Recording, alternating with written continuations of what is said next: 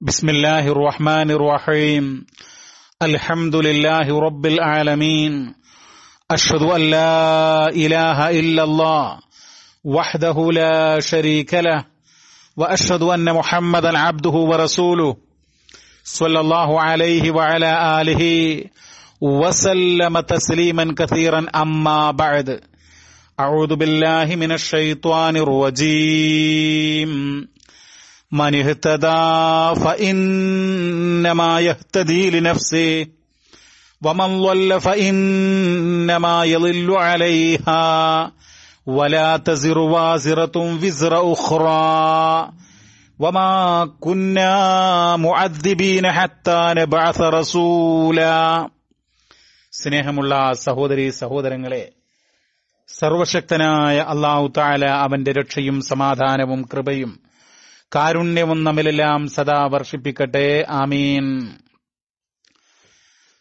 നമ്മൾ ജീവിച്ചുകൊണ്ടിരിക്കുന്ന കേരളീയ സമൂഹം ഏറെ വിദ്യാസമ്പന്നരാണ്.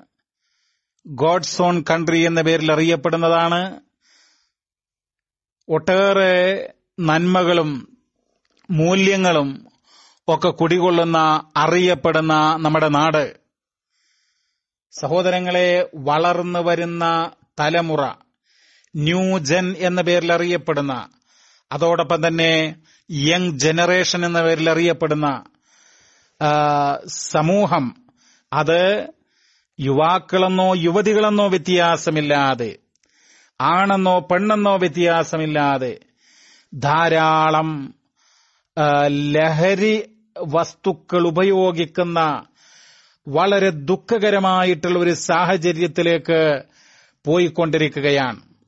സമീപ കാലഘട്ടങ്ങളിൽ നമ്മുടെ നാട്ടിൽ ലഹരി പദാർത്ഥങ്ങളുടെ ഉപയോഗം എന്ന് പറഞ്ഞാൽ നമ്മൾ മുമ്പൊക്കെ കേട്ടിട്ടുള്ള കഞ്ചാവോ കള്ളോ അതുപോലെയുള്ള വസ്തുക്കൾ മാത്രമല്ല.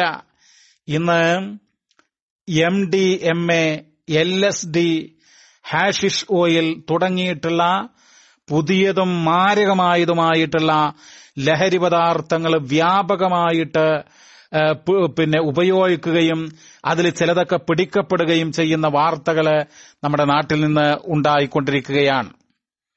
ഇപ്പൊ എം ഡി എം എ എന്ന് പറയുന്നത് മെത്തലിൻ ഡയോക്സി മെത്തഫെറ്റാമിൻ എന്ന പേരിൽ അറിയപ്പെടുന്ന ഒന്നാണ്. അത് ധാരാളമായിട്ട് ഡി ജെ പാർട്ടികൾ സംഘടിപ്പിച്ചുകൊണ്ട്. ഡി ജെ പാർട്ടി എന്ന് പറഞ്ഞാൽ തന്നെ പ്രത്യേകിച്ച് യങ് ജനറേഷനിൽ പെട്ടിട്ടുള്ള ആളുകളെയൊക്കെ ഉൾപ്പെടുത്തിക്കൊണ്ട് ബിയർ കുടിച്ച് അടിച്ചു പൊളിച്ച് ഡാൻസ് ചെയ്യാൻ വേണ്ടി യുവതികൾ ഉൾപ്പെടെ ചില ദമ്പതിമാരുൾപ്പെടെ പെൺകുട്ടികൾ ഇവരൊക്കെ കൂടി വൈകുന്നേരമായി കഴിഞ്ഞാൽ ഡി ജെ പാർട്ടികൾ എന്നിട്ട് അവിടെ ബിയർ കുടിച്ച ബിയർ കുടിച്ചുകൊണ്ടാണ് ഈ നൃത്തം ചെയ്യുന്നതും കാര്യങ്ങളുമൊക്കെ. എന്നാൽ അർദ്ധരാത്രിയോടുകൂടെ ഇത് കഠിനമായിട്ടുള്ള മാരകമേറിയിട്ടുള്ള ലഹരി പദാർത്ഥങ്ങൾ നമ്മൾ സൂചിപ്പിച്ചിട്ടുള്ള മെത്തലിൻ ഡയോക്സി മെത്തഫെറ്റാമിൻ എന്ന് പറയുന്ന എം ഡി എം എ അതുപോലെ എൽ എസ് ഡി പോലെയുള്ള അപകടമേറിയിട്ടുള്ള വൻ ദുരന്തങ്ങൾ വിതക്കുന്ന മാരകമേറിയിട്ടുള്ള ലഹരി പദാർത്ഥങ്ങൾ ആണ് ഉപയോഗിച്ചുകൊണ്ടിരിക്കുന്നത് എന്നുള്ളതാണ്. നമ്മുടെ രാജ്യത്തുള്ള national institute on drugs abuse പുറത്തുവിട്ടിട്ടുള്ള ചില സംഭവങ്ങളുണ്ട്. അന്താരാഷ്ട്ര വിപണിയിൽ രാജ്യാന്തര തലത്തിൽ ഏറെ ആവശ്യക്കാരുള്ള വളരെ ഗുരുതരമായിട്ടുള്ള പ്രത്യാഘാതങ്ങൾ ഉണ്ടാക്കുന്ന ലഹരി പദാർത്ഥങ്ങൾ പോലും നമ്മുടെ കൊച്ചു കേരളത്തിൽ ലഭ്യമാക്കുന്നു എന്നുള്ളതാണ്. അതിന് ഉപയോ ഉപഭോക്താക്കളുണ്ട് എന്നുള്ളതാണ്. മാക്സ് ജല്ലി എക്സ്റ്റസി എന്ന പേരിൽ അറിയപ്പെടുന്ന വളരെ മാരകമേറിയിട്ടുള്ള ലഹരി പദാർത്ഥങ്ങൾ പോലും ഇവിടെ പിടിക്കപ്പെടുന്നു എന്നുള്ളതാണ്. അപ്പോ അതിലേറെ പിടിക്കപ്പെടാതെ പോകുന്നു എന്നുള്ളതാണ്. ഇങ്ങനെയുള്ള ഇനത്തിൽപ്പെട്ട ഒരു പത്ത് ഗ്രാം മയക്കുമരുന്ന് ആ പത്ത് ഗ്രാം മയക്കുമരുന്ന് കൈവശം വെച്ചാൽ പോലും നമ്മുടെ രാജ്യത്തെ നിയമമനുസരിച്ച് ഇരുപത് വർഷം കഠിന തടവ് കിട്ടാവുന്ന കുറ്റമാണ്. പക്ഷേ ആ നിയമത്തെയൊക്കെ പുല്ലുവില കൽപ്പിച്ചുകൊണ്ടാണ് ഈ ആളുകൾ ഇതിന്റെ ഉപയോഗത്തിനും വിപണനത്തിനും വേണ്ടിയിട്ട് മുന്നോട്ട് പോകുന്നത്. അത് പ്രബുദ്ധമായ കേരളത്തിലാണ് എന്ന് നമ്മൾ ഓർക്കേണ്ടതായിട്ടുണ്ട്. വളർന്നു വരുന്ന തലമുറ ന്യൂ ജൻ എന്ന് പറയുന്ന അല്ലെങ്കിൽ യങ് ജനറേഷൻ എന്ന പേരിലറിയപ്പെടുന്ന വിഭാഗം വെളിപ്പെടുത്തുന്ന ഒരു കാര്യം എന്ന് പറയുന്നത് കഞ്ചാവ് പോലെയുള്ള പഴഞ്ചൻ ലഹരി പദാർത്ഥങ്ങൾ നമുക്ക് ആവശ്യമില്ല മറിച്ച് സിന്തറ്റിക് ഡ്രഗ്സ് ആണ് ആവശ്യം എന്നുള്ളതാണ് മാരകമേറിയിട്ടുള്ള മയക്കുമരുന്ന് പദാർത്ഥങ്ങൾ ലഭ്യമാക്കുക അത് ഉപയോഗിക്കുക എന്നാണ് ഇവരുടെ കണ്ണുകൾ നടത്തിക്കൊണ്ടിരിക്കുന്നത്. ഇതുമായി ബന്ധപ്പെട്ട കച്ചവടക്കാരും അതോടൊപ്പം തന്നെ അതുമായി ബന്ധപ്പെട്ട കണ്ണികളുമൊക്കെ അതാണ് നടപ്പിലാക്കിക്കൊണ്ടിരിക്കുന്നത്. രാജ്യാന്തര തലത്തിൽ വളരെ കുപ്രസിദ്ധിയാർജിച്ചിട്ടുള്ള മെക്സിക്കൻ ഡ്രഗ് മാഫിയ തലവൻ ഗുസ്മാൻ. അദ്ദേഹത്തിന്റെ പേരിൽ കേരളത്തിലും ഗുസ്മാൻ ഫ്രം കാലിക്കറ്റ് എന്ന പേരിൽ ഇങ്ങനെയുള്ള മയക്ക് മരുന്ന് വിപണനം നടത്തുന്ന ആളുകൾ ആ പേരിൽ അറിയപ്പെടുന്നു എന്നുള്ളതാണ്. നമ്മൾ പറഞ്ഞിട്ടുള്ള മാക്സ് ജെല്ലി എക്സ്റ്റസി എന്ന പേരിൽ അറിയപ്പെടുന്ന ആ മയക്ക് മരുന്നുണ്ടല്ലോ. അതിന്റെ ഒരു മൈക്രോഗ്രാം അതിന്റെ വളരെ സൂക്ഷ്മമായിട്ടുള്ള ഒരു മൈക്രോഗ്രാം മാത്രം ഉപയോഗിച്ചാൽ നാൽപ്പത്തിയെട്ട് മണിക്കൂറോളം മനുഷ്യനെ ഉന്മാദാവസ്ഥയിലെത്തും എന്നുള്ളതാണ്. അതിന്റെ അളവ് ഉപയോഗിക്കുമ്പോൾ അതിന്റെ അളവ് അല്പം തെറ്റിയാൽ അല്പം പാളിപ്പോയാൽ നാൽപ്പത്തിയെട്ട് മണിക്കൂറിനുള്ളിൽ മരണം പോലും സംഭവിക്കാൻ സാധിക്കും എന്നുള്ളതാണ് കാരണമാകും എന്നുള്ളതാണ്. ഒരല്പം ഉപയോഗിക്കുന്നത് തെറ്റിപ്പോയാൽ പാളിപ്പോയാൽ രണ്ട് ദിവസത്തിനകം ആ മനുഷ്യൻ മരണം അദ്ദേഹത്തിന് മരണം സംഭവിച്ചേക്കും എന്നുള്ളതാണ് അതുമായി ബന്ധപ്പെട്ട് പറയുന്നത്. ഒരു ലെവലേശം ഒരു തരി ഉപയോഗിച്ചു കഴിഞ്ഞാൽ മനുഷ്യന്റെ ബ്രെയിനിന് തലച്ചോറിന്റെ പ്രവർത്തനത്തെ താളം തെറ്റിക്കുമെന്നാണ്. പ്രത്യേകമായിട്ടുള്ള മാനസികാവസ്ഥയിൽ അവനെത്തിപ്പെടുന്നു എന്നുള്ളതാണ്. എന്ന് മാത്രമല്ല അനേകം വൈവിധ്യമാർന്നിട്ടുള്ള ആരോഗ്യ പ്രശ്നങ്ങൾ അവനുണ്ടാകുന്നു എന്നുള്ളതാണ്. എം ഡി എം എ എന്ന് പറയുന്ന ലഹരി പദാർത്ഥം ഉപയോഗിച്ചു കഴിഞ്ഞാൽ ഇതിന്റെ ഉപയോഗം തലച്ചോറിലെ ന്യൂറോ ട്രാൻസ്മിറ്ററിന്റെ പ്രവർത്തനത്തെ ബാധിക്കുന്നു. അതിനെ ബാധിക്കുമ്പോൾ മനുഷ്യന്റെ മാനസികാവസ്ഥ തകരാറിലാകുന്നു. അവന്റെ ഉറക്കം അത് തകരാറിലാകുന്നു. അവന്റെ വിശപ്പ് അവന്റെ വേദന അവന് ആഘാതമുണ്ടാകുന്നു. അവന്റെ പെരുമാറ്റത്തിൽ വ്യത്യാസങ്ങൾ ഉണ്ടാകുന്നു. അങ്ങനെ മനുഷ്യന്റെ പല തരം പ്രവർത്തനങ്ങളും അവതാളത്തിലാകുന്നു എന്ന് മാത്രമല്ല അതിന്റെ ഒരു തരി ഉപയോഗിക്കുമ്പോൾ അതിന്റെ ലഹരി മണിക്കൂറുകളോളം ഉണ്ടാകുന്നു എന്നാണ്. അപ്പോൾ മനുഷ്യന്റെ ശരീരത്തിൽ ഒരുപാട് പ്രശ്നങ്ങൾ ഉണ്ടാക്കുന്നു. അവന്റെ തലച്ചോറിനെ അവതാളത്തിലാക്കുന്നു. അവന്റെ ബുദ്ധി നശിക്കുന്നു വലാ തുൽഖൂ ബിഐദീകും ഇലത്തഹ്ലുക പരിശുദ്ധ ഖുർആനിലെ രണ്ടാം അധ്യായത്തിലെ നൂറ്റി തൊണ്ണൂറ്റി അഞ്ചാമത്തെ വചനത്തിൽ അള്ളാഹു താല പറഞ്ഞു നിങ്ങളുടെ കൈകളെ നിങ്ങൾ തന്നെ നാശത്തിൽ തള്ളിക്കളയരുത് എന്നാണ്. അതായത് സ്വന്തം പണം കൊടുത്തിട്ട് ആരോഗ്യവും ബുദ്ധിയും നശിപ്പിച്ച് ജീവനെ തന്നെ നഷ്ടപ്പെടുത്തുന്ന അവസ്ഥയിലേക്ക് നിങ്ങൾ സ്വയം നിങ്ങളുടെ കൈകളിട്ടേക്കരുത് എന്നുള്ള ഖുർആാനിന്റെ ആ മുന്നറിയിപ്പ് അത് സമൂഹം അവഗണിക്കുകയാണ്.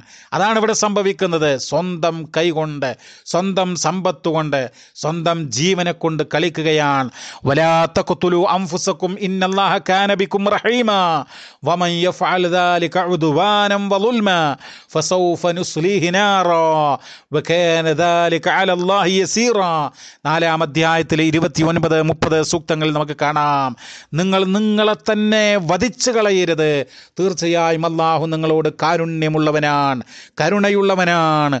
ആരെങ്കിലും അപ്രകാരം പ്രവർത്തിച്ചാൽ അതാ അഥവാ സ്വന്തത്തെ വധിച്ചു കളയുകയാണ് എങ്കിൽ എഴുതുവാനം വലുൽമ ശത്രുതയായിക്കൊണ്ടും ആക്രമിച്ചുകൊണ്ടും ഒക്കെ വധിച്ചു കളയുകയാണെങ്കിൽ ഫസൗഫനുസ്ലീഹിനാറ അവനെ നരകാഗ്നിയിൽ കടത്തി എരിയിക്കും. വക്കാനദാലിക അലല്ലാഹി യസീർ അള്ളാഹുവിന് അത് വളരെ എളുപ്പമുള്ള കാര്യമാണ് എന്നുള്ളതാണ്. സഹോദരങ്ങളെ ഇങ്ങനെയുള്ള ഈ ദുർഗതി മനുഷ്യന് വര വരുന്ന ഈ ഒരു കാലഘട്ടത്തിൽ തീർച്ചയായും അങ്ങനെയുള്ള ആളുകൾക്ക് തികഞ്ഞ ദൈവീക വിശ്വാസം പരലോക ചിന്ത അതുണ്ട് എങ്കിൽ ഇങ്ങനെയുള്ള തിന്മകളിൽ നിന്നും ലഹരി വസ്തുക്കളുടെ ഉപയോഗത്തിൽ നിന്നും മാറാനവർക്ക് കഴിയും. പരലോക വിശ്വാസത്തിന്റെ അഭാവമാണ് പലപ്പോഴും ഇങ്ങനെയുള്ള അധർമ്മങ്ങളിലേക്ക് മനുഷ്യൻ പോകുന്നത് എന്ന് നമ്മൾ മനസ്സിലാക്കുക. പരിശുദ്ധ ഖുർആൻ പറയുകയാണ്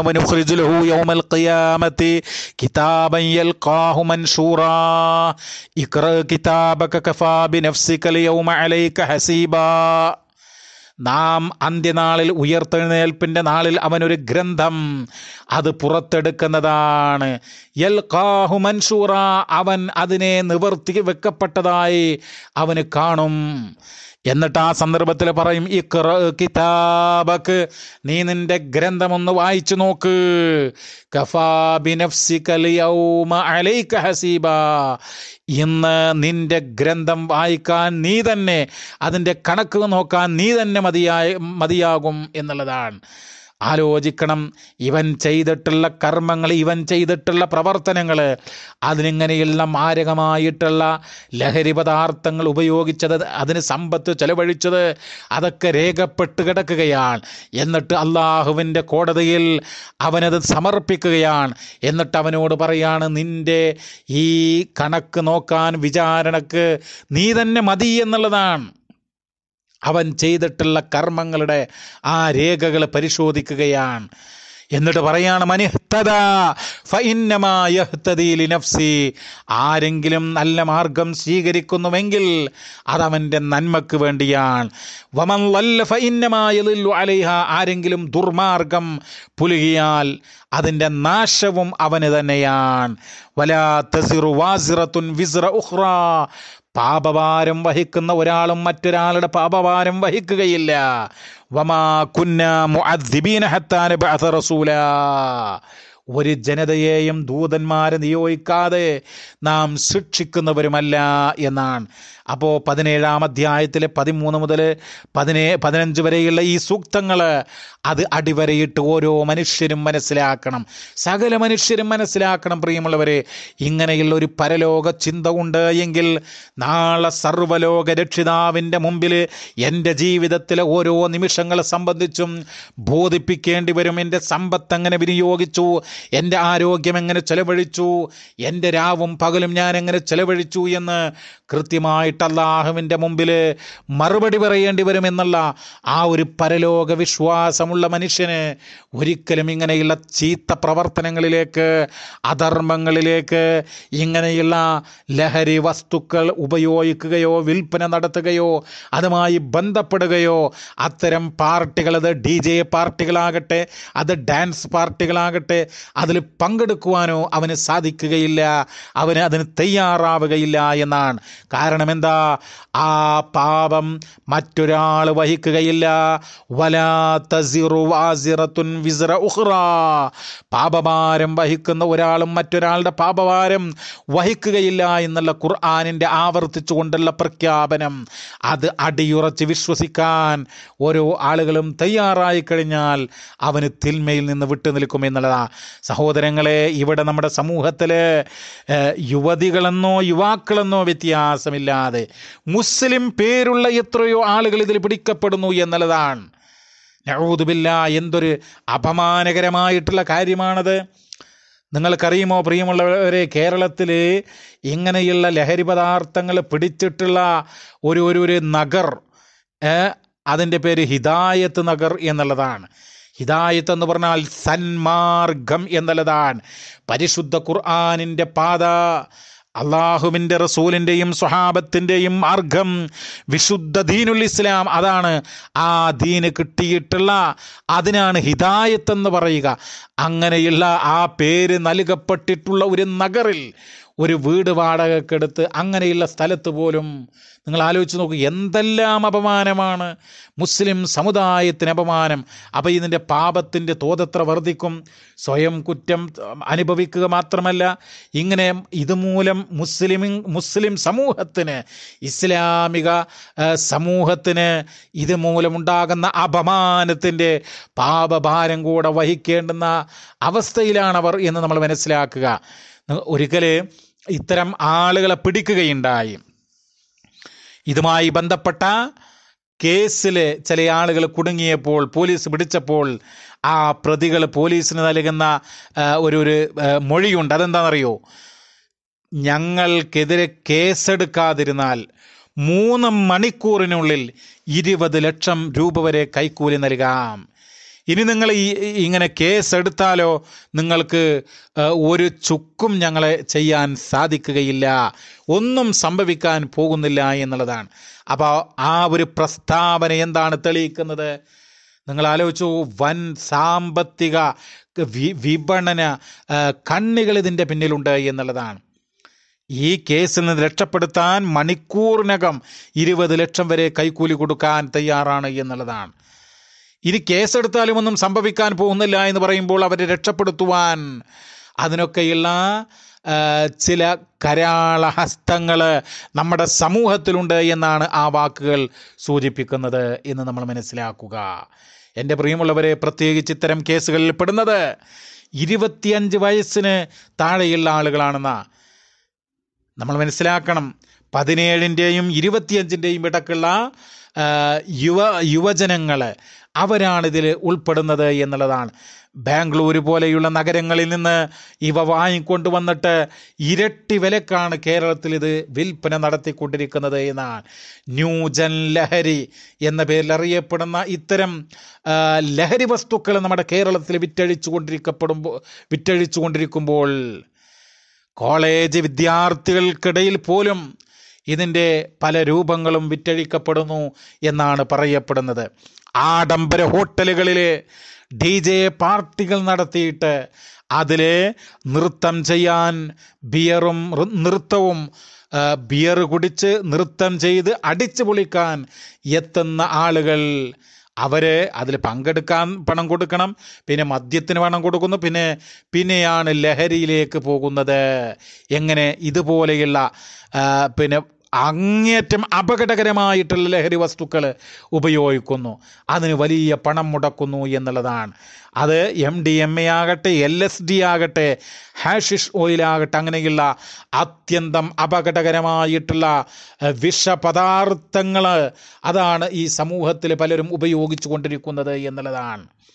ഈ ഡി ജെ പാർട്ടികൾ ആരംഭിക്കുന്നത് വൈകുന്നേരം ആറു മണിക്കാണെങ്കിൽ അർദ്ധരാത്രിയാകുമ്പോഴേക്കും ലഹരി മരുന്നുകളുടെ ഉപയോഗങ്ങൾ ആരംഭിക്കും എന്നുള്ളതാണ്. സഹോദരങ്ങളെ വിശുദ്ധ ഖുർആൻ ഒരു കാര്യം പറയുകയുണ്ടായി. യാ അയ്യുഹല്ലദീന ആമനൂ ഇന്നമൽ ഖംറു വൽ മൈസിറു വൽ അൻസ്വാബു വൽ അസ്ലാം റിജ്സും മിൻ അമലി ശൈത്വാൻ ഫജ്തനിബൂഹു ലഅല്ലക്കും തുഫ്ലിഹൂൻ ഇന്നമാ യുരീദു ശൈത്വാനു അൻ ബൈനകുമുൽ അദാവത വൽ ബഗ്ളാ ഫിൽ ഖംറി വൽ മൈസിർ വയസുദ്ദകും അൻ അഞ്ചാം അധ്യായത്തിലെ തൊണ്ണൂറ് തൊണ്ണൂറ്റിയൊന്ന് വചനങ്ങൾ അല്ലയോ സത്യവിശ്വാസികളെ നിശ്ചയം മദ്യവും ചൂതാട്ടവും പ്രതിഷ്ഠകളും പ്രശ്നം വെച്ച് നോക്കാനുള്ള അമ്പുകളും അത് മിഷ് പിശാച്ചിന്റെ മ്ലേച്ഛ പ്രവർത്തികളിൽപ്പെട്ട കാര്യങ്ങൾ മാത്രമാകുന്നു. അതുകൊണ്ട് നിങ്ങൾ അവ വർജിക്കുക നിങ്ങൾ വിജയം പ്രാപിച്ചേക്കാം. നിങ്ങളത് ഒഴിവാക്കുക അതിനോട് വിട പറയുക എന്നാൽ നിങ്ങൾ വിജയം പ്രാപിച്ചേക്കാം. പരിശുദ്ധ ഖുർആൻ പറയുകയാണ്. എന്നിട്ട് പറയുന്നു പിശാച്ച് അതുവഴി നിങ്ങളിൽ ഈ മദ്യവും അതുപോലെ ചൂതാട്ടവും വഴി നിങ്ങൾക്കിടയിൽ ശത്രുതയും വിദ്വേഷവും ഉണ്ടാക്കുവാനാണ് പിശാച്ച് ലക്ഷ്യം വെക്കുന്നത്. മാത്രമല്ല അള്ളാഹുവിനെ ഓർമ്മിക്കുന്നതിൽ നിങ്ങളെ തടയുവാൻ നമസ്കാരത്തിൽ നിങ്ങളെ തടയുവാൻ അതാണ് പിശാച്ച് ലക്ഷ്യം വെക്കുന്നത്. അതുകൊണ്ട് നിങ്ങളിത് വർജിക്കുന്നില്ലേ വെടിയുന്നില്ലേ? ഫഹൽ മുൻതഹൂൻ നിങ്ങളത് ഉപേക്ഷിക്കുന്നില്ലേ എന്നാണ്. ഈ ആയത്ത് അവതീർണമായപ്പോൾ വിശ്വാസി സമൂഹമായിട്ടുള്ള പ്രവാചകന്റെ സ്വഭാവത്ത് പരലോക ചിന്തയുള്ള ആ സമൂഹം അള്ളാഹുവിൽ അടിയുറച്ചിട്ടുള്ള ആ സമൂഹം മരണാനന്തര ജീവിതത്തെക്കുറിച്ചും അവരുടെ അവിടെയുള്ള രക്ഷാശിക്ഷകളെക്കുറിച്ചും സ്വർഗനരകങ്ങളെക്കുറിച്ചും വിചാരണയെക്കുറിച്ചും കൃത്യമായ ബോധമുള്ള ആ സമൂഹം എന്താണ് പറഞ്ഞത്? ഇൻതഹൈന ഇൻതഹൈന ഞങ്ങളിതാ ഉപേക്ഷിച്ചിരിക്കുന്നു. ഞങ്ങളിതാ മദ്യത്തോടും ലഹരി വസ്തുക്കളോടും വിട പറഞ്ഞിരിക്കുന്നു. ഇനി അത് ഉപയോഗിക്കില്ല എന്ന് വളരെ കൃത്യമായി പറയുകയാണ് അവർ ചെയ്തത്. എന്തുകൊണ്ടാണ് പ്രിയമുള്ളവരെ അവർക്ക് അങ്ങനെ പറയാൻ കഴിഞ്ഞത്? നമ്മുടെ കൊച്ചു കേരളത്തിലെ വിദ്യാസമ്പന്നരായിട്ടുള്ള വളരെ പ്രബുദ്ധമായിട്ടുള്ള നമ്മുടെ സമൂഹത്തിൽ വളർന്നു വരുന്ന തലമുറ ഇരുപത്തിയഞ്ചിനും പതിനേഴിനും ഇരുപത്തഞ്ചിനും ഇടക്കുള്ള പ്രായമുള്ള യുവതീ യുവാക്കൾ ഇങ്ങനെയുള്ള മാരകമായ ലഹരി വസ്തുക്കൾ ഉപയോഗിക്കുമ്പോൾ നമ്മളൊരു കാര്യം ചിന്തിക്കണം. അവരുടെ മനു അവരുടെ ആരോഗ്യം നഷ്ടപ്പെടുന്നു അവരുടെ ബുദ്ധി നഷ്ടപ്പെടുന്നു അവരുടെ ജോലിയിൽ പ്രശ്നങ്ങളുണ്ടാകുന്നു പ്രശ്നമുണ്ടാകുന്നു അവരുടെ കുടുംബത്തിൽ പ്രശ്നമുണ്ടാകുന്നു. സമൂഹത്തിൽ പ്രശ്നമുണ്ടാകുന്നു. മുസ്ലിം സമുദായത്തിന് അപമാനമുണ്ടാകുന്നു. നാടിന് അപമാനമുണ്ടാകുന്നു. അങ്ങനെ ദൂരവ്യാപകമായിട്ടുള്ള പ്രത്യാഘാതങ്ങൾ ഉണ്ടാകുന്നു. ആ മനുഷ്യന്റെ ജീവിതം തന്നെ തകരാറിലാകുന്നു. ഒരുപക്ഷേ മെന്റൽ പ്രോബ്ലം പ്രോബ്ലങ്ങൾ ഉണ്ടാകുന്നു. മരണം വരെ സംഭവിക്കുന്നു. അപ്പോൾ ഇത് അവസാനിപ്പിക്കുവാൻ എന്ത് വേണം? പരിശുദ്ധ ഖുർആൻ ഇരുപത്തിമൂന്നാം അധ്യായം അതിന്റെ നൂറ്റി ഒന്ന് മുതൽ നൂറ്റിനാല് വരെയുള്ള വചനങ്ങൾ പഠിപ്പിക്കുകയാണ്. ഫൈദാ നുഫിഖ ഫിസ്സൂരി ഫലാ അൻസാബ ബൈനഹും യൗമഇദിൻ വലാ യതസാഅലൂൻ ഫമൻ ثقلت موازينه فأولئك هم المفلحون ومن خفت موازينه فأولئك الذين خسروا أنفسهم في جهنم خالدون تلفح وجوههم النار وهم فيها كالهون ആ കാഹളത്തിൽ ഊതപ്പെട്ടാൽ അന്നേ ദിവസം അവർക്കിടയിൽ കുടുംബ ബന്ധങ്ങളില്ല അവർ പരസ്പരം അന്വേഷിക്കുകയില്ല. സ്വന്തം കാര്യത്തെക്കുറിച്ച് അവർ ഭയ ഭയചകിതരായിരിക്കും ഭയവിഹ്വലരായിരിക്കും എന്നുള്ളതാണ് സ്വന്തം കാര്യത്തെപ്പറ്റി പോലും. അതുകൊണ്ട് അടുത്ത ആളുകളോട് പോലും അന്വേഷണമില്ല. പരസ്പരം ആരായുന്ന ഒരു സ്വഭാവം അവിടെയില്ല. എന്നിട്ട് ആരുടെ നന്മയിടത്ത് സൽക്കർമ്മങ്ങളുടെ തുലാസുകൾ ഘനം തൂങ്ങുന്നുവോ? അവരത്രേ വിജയികൾ. ആരുടെ നന്മയുടെ തുലാസുകൾ ഘനം കുറയുന്നുവോ? അവർക്കാണ് ആത്മനഷ്ടം സംഭവിച്ചവർ. അവർ ജഹന്നമിൽ നരകത്തിലെ നിത്യവാസികളായിരിക്കും. അവരുടെ മുഖങ്ങളെ നരകം കരിച്ചു കളയും. അവരുടെ മുഖത്തെ മാംസങ്ങൾ നഷ്ടപ്പെട്ടു പോയി. പല്ലുകൾ ഇങ്ങനെ പൊന്തി വന്ന് പല്ലിളിച്ചവരായി മാറും അവർ എന്ന് വിശുദ്ധ ഖുർആൻ പറയാൻ. സഹോദരങ്ങളെ ഇതൊക്കെ ഈ വളരെ കൃത്യമായി നടക്കാൻ പോകുന്ന ഒരു യാഥാർത്ഥ്യമാണ് എന്ന് നമ്മൾ അറിയുക. ആ പരലോക വിശ്വാസം കൃത്യമായി നമ്മുടെ സമൂഹത്തിലുണ്ടാകണം. തിന്മയോട് വട വിട പറയാൻ നിങ്ങൾ ആഗ്രഹിക്കുന്നുവെങ്കിൽ നിങ്ങളുടെ സമൂഹം നിങ്ങളുടെ യുവാക്കൾ യുവതികൾ തിന്മയിൽ തിന്മയോട് വിട പറയണം എന്ന് നിങ്ങൾ ആഗ്രഹിക്കുന്നുവെങ്കിൽ ആ അനിവാര്യമായും ഒന്നാമതായിട്ട് അവരുടെ മനസ്സുകളിൽ പരലോക വിശ്വാസം ഉണ്ടാക്കണം. സർവശക്തനായ അള്ളാഹുവിനെ കുറിച്ചുള്ള ഒരു വിശ്വാസം അവരുടെ മനസ്സുകളിലേക്ക് സന്നിവേശിപ്പിക്കണം എന്നാണ് നമുക്ക് പറയാനുള്ളത്. നമ്മുടെ രാജ്യത്ത് ഇങ്ങനെയുള്ള അതിമാരകമായിട്ടുള്ള ലഹരി പദാർത്ഥങ്ങൾ ഉപയോഗിച്ചു കൊണ്ടിരിക്കുമ്പോൾ യുവതി യുവാക്കൾ മാത്രമല്ല പല പ്രായത്തിലുള്ള ആളുകളുമുണ്ട്.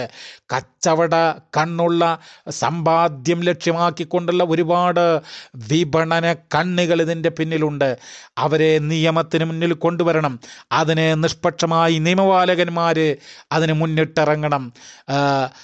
അവർ കൈക്കൂലിയോ അതുപോലെയുള്ള കാര്യങ്ങൾക്കോ വശംവതരാകാതെ അടിമപ്പെടാതെ നീതിപൂർവം ഇങ്ങനെയുള്ള ആളുകൾക്കെതിരെ നടപടികൾ സ്വീകരിച്ചുകൊണ്ട് നമ്മുടെ രാജ്യത്തു നിന്ന് ഈ അപകടം ഈ മാരകമായിട്ടുള്ള ലഹരി വസ്തുക്കളുടെ ഉപയോഗം ഇല്ലായ്മ ചെയ്യേണ്ടതുണ്ട്. അതിന് ഗവൺമെന്റിന് ഉത്തരവാദിത്വമുണ്ട്. അതോടൊപ്പം തന്നെ പ്രത്യേകിച്ച് എന്റെ ശബ്ദം കേൾക്കുന്ന സഹോദരി സഹോദരങ്ങളെ വിശ്വാസി സമൂഹം മുസ്ലിം സമുദായം പ്രത്യേകിച്ച് തങ്ങളുടെ സഹോദരി സഹോദരങ്ങളെ തങ്ങളുടെ മക്കളെ ശക്തമായ ഭാഷയിൽ ഉണർത്തേണ്ടതുണ്ട്.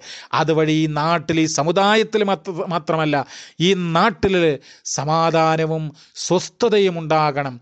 അവ ഇവ ഇവിടെ ഒരാളും തന്നെ ഇതുപോലെയുള്ള ലഹരി വസ്തുക്കൾ ഉപയോഗിക്കുന്ന ഒരവസ്ഥ ഉണ്ടായിക്കൂടാ എന്ന് ഉറപ്പുവരുത്തേണ്ടതുണ്ട് അതിന് പടച്ച തമ്പുരാൻ അനുഗ്രഹം ചൊരിയട്ടെ. വസ്വല്ലാഹു വസ്ലം അല നബീന മുഹമ്മദ്. വൽഹംദുലില്ലാഹി റബ്ബിൽ ആലമീൻ.